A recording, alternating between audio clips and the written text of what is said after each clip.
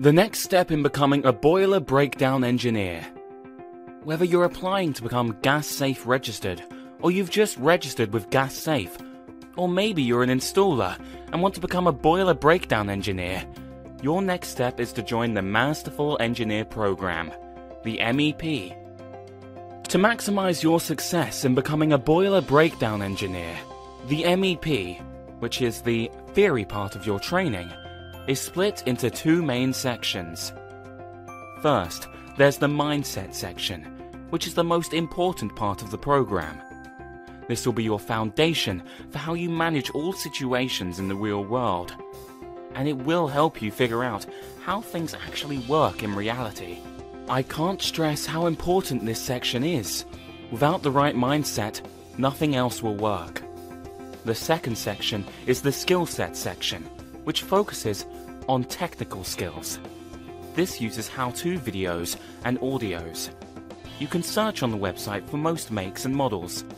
Plus, this section is continually updated. In addition to the MEP, your theory section, you can move on to the A plus R boiler repair training, which then becomes your practical section.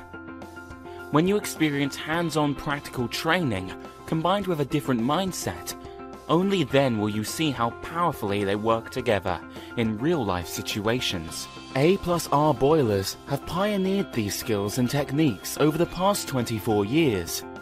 To get an idea of our superior boiler repair skills, just take a look at our Google reviews. All this can be passed on to you when you sign up for the A plus R boiler repair training.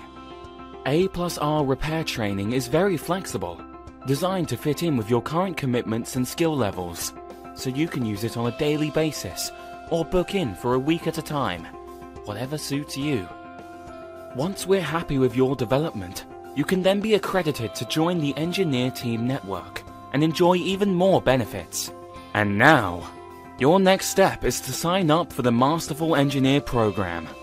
Visit www.masterfulengineer.co.uk forward slash intro we recommend you give yourself a month or two on the MEP before starting the A plus R boiler repair training.